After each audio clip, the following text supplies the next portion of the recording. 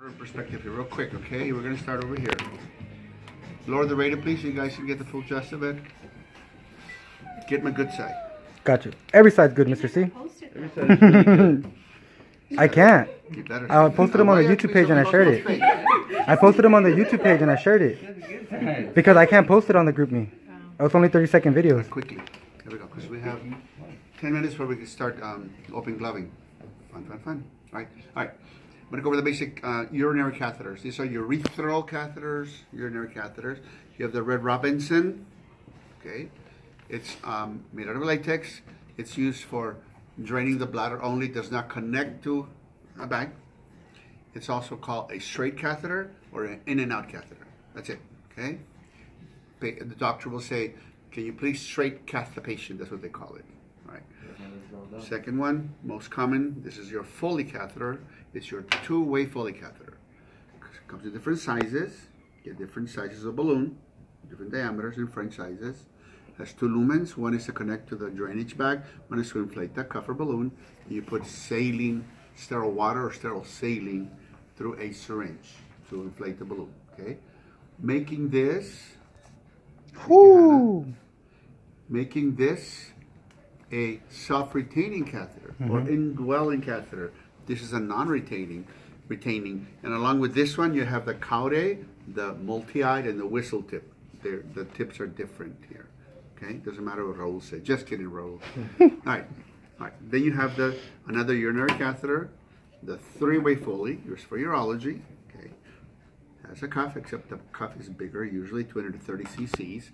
Then it's put through the urethra when they do bladder surgery or prostate surgery when they go above the pubic bone into the bladder. Okay, one end is to inflate the balloon, one is to attach to the Foley bag, and one is to irrigate uh, the bladder using a piston syringe. Okay, so that's your three-way self-retaining catheter. All right, then we go into this catheter.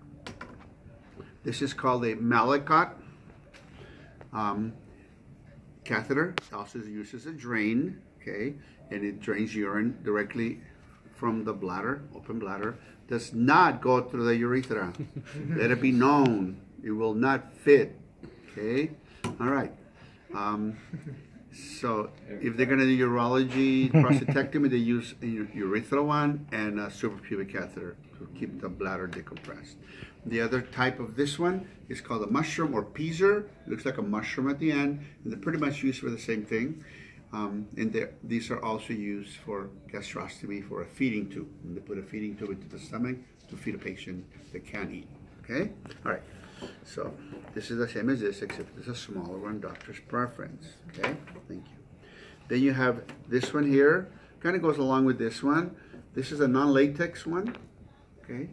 And if the doctor is putting in a catheter and the patient's latex allergies, has latex allergies, you rather than uses this, um, latex one, he's going to use this one. It's made out of silicone and it is not latex. It does the same thing, it's a two-way Foley. Same thing with a Red Robinson. Patient is allergic to latex, they'll use a Robinson catheter that looks just like this one except this single lumen. You understand everybody? Okay, I'm gonna move on. This is a not a urethral catheter, but a ureteral catheter. These are used to splint the ureters. They go to the urethra with the scope, cystoscope, to put uret- ureteral catheters into the ureters when they're diagnosing stones and stuff like that. Urologists will put that in. Okay, so um, this is a T-tube. Okay, we're not going to go in any particular order here. Um, a T-tube one that would be smaller than this, obviously, is used for common duct exploration surgery when they remove the gallbladder. So after they remove stones or they, they're going to close the, the uh, common bile duct, they put this T part, one up, one down, inside, and this gets exteriorized, connects to a bile bag temporarily. Okay, so this is for for um, gallbladder surgery for cholangiograms when they're doing common duct exploration, checking for stones. Okay, all right. This is a Penrose drain. It comes in different sizes. Happens to be a one inch. There's a three quarter inch, half inch, quarter inch. Okay. Um, it drains by capillary action. Obviously, it does not have a collecting device, so it'll just wet the dressings. That's how it by passive drainage. Okay. capillary action or wicking action, the same as a, uh, a cigarette would have a gauze to the lumen, but they both drain the same way. Understand that? Okay. So that's your Penrose drain. When you hand it to the surgeon, it's always handed moistened in saline. Always in saline. All right. Um, this is an endotracheal tube used for general anesthesia. It has a cuff or balloon that the anesthesiologist will inflate to intubate the patient uh, when they're unconscious, so they can put them in a respirator, breathing tube. When they're ready to extubate the patient after surgery, to relieve the secretion so there's no collection device, the s- doctor will use, the anesthesiologist will use a suction catheter that connects the suction to relieve the secretion from inside the ET tube. Understand that, everybody? Suction catheter, okay? There's gonna be some matching on the test on Monday. I'm gonna put the names of all these and matching, and then the terminology next week, you're gonna put it on the line. If I say, used to relieve obstructions from the ET tube, it's a suction catheter, okay?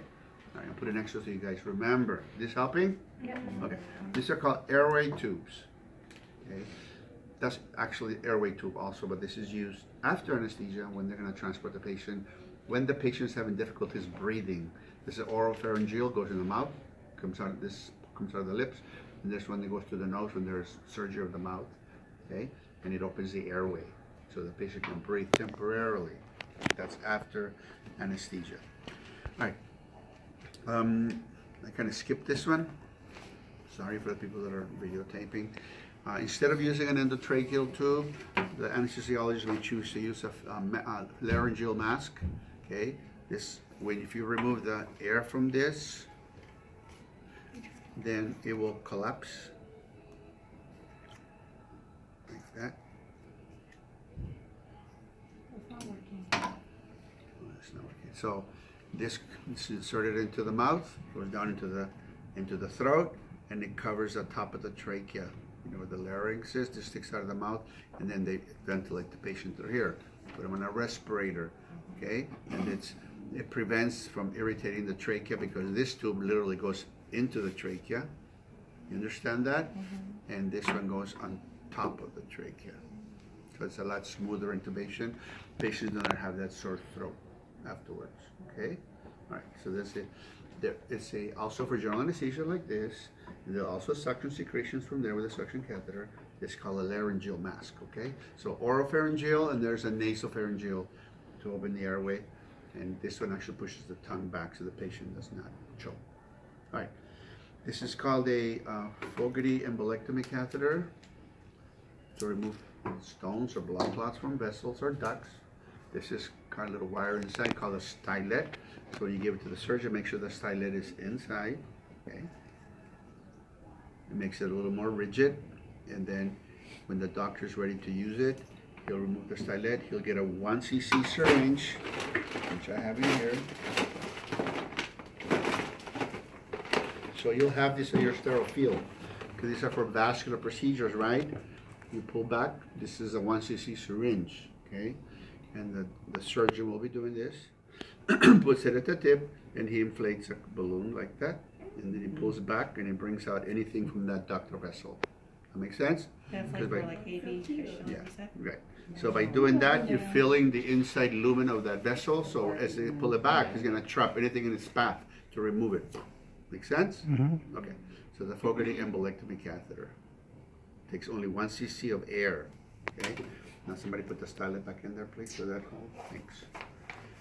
All right, put it in here when you're done. All right, let's go over drains really quick. This is called a Jackson Pratt drain, JP drain. This is the part goes into the wound. This gets exteriorized, okay? Uh, usually through a separate stab wound, and then you activate it by, oops, that thing came out, by squeezing, we'll put it back on. You squeeze it, and then you put, this goes on top of this after the incision is closed, like that, and let me collapse this. So this is gonna be inside. So that's gonna stay collapsed like this, and it starts sucking out fluid and blood, right? During the next, you know, hours or so.